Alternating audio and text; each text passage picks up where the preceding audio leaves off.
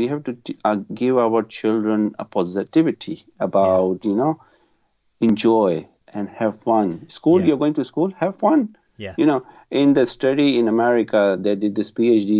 Um, um, a lot of PhD. They're doing this PhD. Were doing this study about as how many parents uh, say no to their children in a day.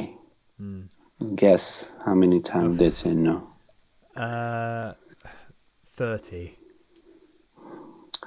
400 times they say no. Yeah.